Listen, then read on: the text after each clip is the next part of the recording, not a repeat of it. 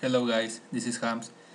I'm going to start a tutorial for Visual Basic Advanced Macro Programming for Excel. And because my computer is not running anymore CATIA so I cannot make any more videos for CATIA uh, but in this time I will teach you how to use Excel and Visual Basic.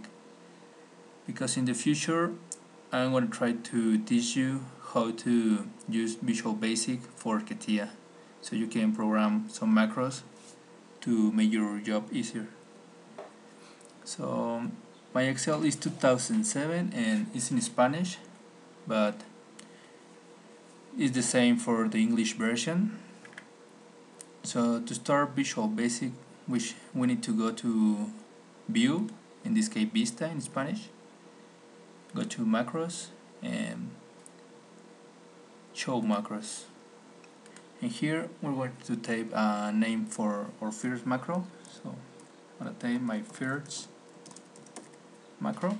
And we just to click on the create button.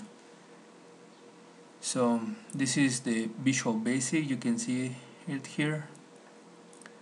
And the project explorer is the most important part because here you're going to have your model classes uh, sheets or workbooks open it. So here as you can see here we're in model 1 this mean this model so all the code that we insert here is going to be inside this model so if you double click on sheet number 1 you can see on the top how they changed and all the code you put here is going to be on the sheet number 1 and the same for the workbook and the properties is going to apply for workbooks or modules or forms that you're going to add to your project.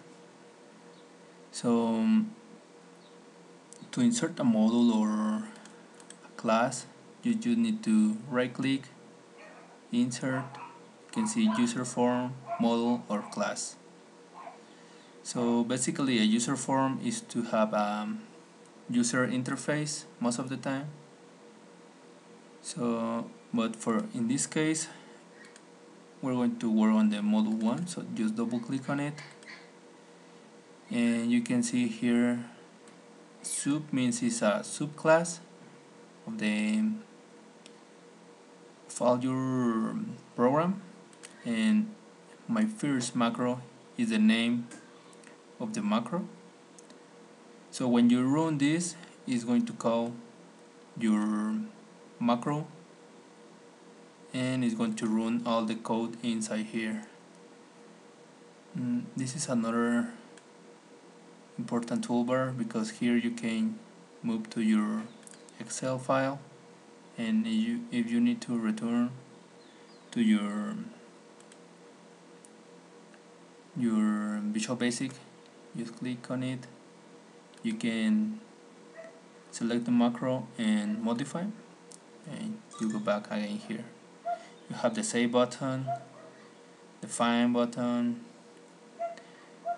the controls D the eject the run macro stop macro well pause macro and stop macro. Be in the sign mode and this is the project explorer. You turn it off if you close this you can just turn it on here. The same for the properties. And this one is for the toolbox. This one applies for the forms. So so to write our first macro I'm going to use I'm going to show you how to use the message box. It's very simple. You only need to write SMG box. The standard is is to put it between the message between this you can type hello world. And just click outside here and just run the macro and you you're going to see a message box to say hello world. So yep there is. And just click ok to stop the macro. Another important thing to do is run the macro step by step. You you can do it by pressing the F8 key on your keyboard. And you can see how a yellow background appear. Where is the the code running you click again F8 you're going to see how the code is going to the next step. So we click again it's going to eject the message box. You can see here click OK. And if you click again F8 it's going to end the macro. So this is our first macro. You can do the same on CATIA and please tell me what you think about this tutorial. If you want to learn more about this if you are interested on it and you need some help to create some macros in Excel. And macros are very useful in your day-to-day -day work. So you can make a lot of improvements in your work. And I will wait for your comments and thank you for watching and I will see you in the next video